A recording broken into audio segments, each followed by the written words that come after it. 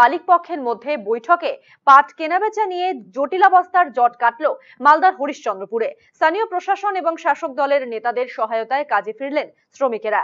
মজুরি বৃদ্ধির দাবি জানিয়ে শাসক দলের শ্রমিক সংগঠন আইএনটিটিউসির নেতৃত্বে বিক্ষোভ মিছিল করে কর্মবিরতির ডাক দেন পাট শ্রমিকরা। ফলে রবিবারের হাটে বন্ধ হয়ে যায় পাট কেনা বেচা হাট থেকে পাট বিক্রি করতে না পেরে ঘুরে চলে যেতে হয় পাট চাষিদের। সে কারণে সমস্যায় পড়ে যায় তারা। এরপরই এই সমস্যার সমাধানে উদ্যোগী হয় সব পক্ষই।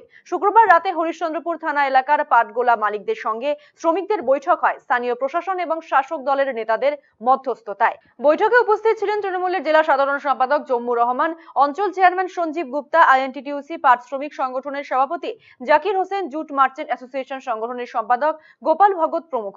বৈঠকে শ্রমিক মালিক উভয় পক্ষের সম্মতিতে শ্রমিকদের মজুরি দশ শতাংশ এবং পাঁচ শতাংশ করে বৃদ্ধি করা হয়। এরপরই শনিবার থেকে স্বাভাবিক কাজকর্ম শুরু হয়।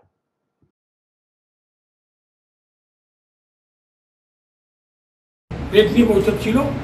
আজকে রেট উভয় পক্ষ উভয় পক্ষ বসে আমরা মীমাংসা করে রেট ফাইনাল করলাম।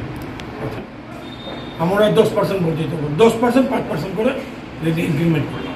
আচ্ছা। এটা কত বছরের জন্য ইনক্রিমেন্ট হলো? এক বছরের হ্যাঁ ওরা ক্ষমা চেয়ে নিয়েছে। হুমকি দেওয়ার জন্য তারা ক্ষমা চেয়েছে। কাল থেকে সব খরিদ চলছে আমাদের। আচ্ছা। হ্যাঁ কাল থেকে কিনবো আমরা। আচ্ছা।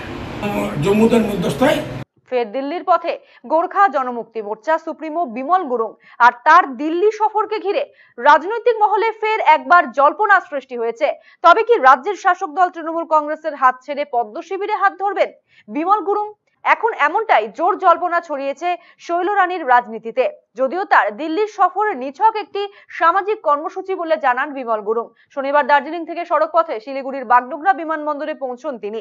সেখান থেকে বিমানে দিল্লির উদ্দেশ্যে রওনা দেন তিনি। তিনি সাংবাদিকদের মুখোমুখি হয়ে বলেন, দিল্লির তালকোটারা ইন্ডোর স্টেডিয়ামে একটি সামাজিক কর্মসূচি রয়েছে, সেখানেই যোগ দিতে যাচ্ছি। মোর্চার সেন্ট্রাল কমিটির সঙ্গেও বৈঠক রয়েছে। এরপর একটু দেরাদুনে কয়েকজনকে আমন্ত্রণ জানাতে যাব। সব খবর সবার আগে পেতে আমাদের ফেসবুক পেজটিকে লাইক এবং শেয়ার করুন। সেই সঙ্গে আমাদের ইউটিউব পেজটিকে সাবস্ক্রাইব করুন। তবে বেল আইকনটিতে ক্লিক করতে ভুলবেন না। সব খবর সবার আগে পেতে আমাদের ফেসবুক পেজটিকে লাইক এবং শেয়ার করুন। সেই সঙ্গে আমাদের ইউটিউব পেজটিকে সাবস্ক্রাইব করুন। তবে বেল আইকনটিতে ক্লিক করতে ভুলবেন না। সব খবর সবার আগে পেতে আমাদের ফেসবুক পেজটিকে লাইক এবং শেয়ার করুন। সেই সঙ্গে আমাদের ইউটিউব পেজটিকে সাবস্ক্রাইব করুন। তবে বেল আইকনটিতে ক্লিক করতে ভুলবেন না।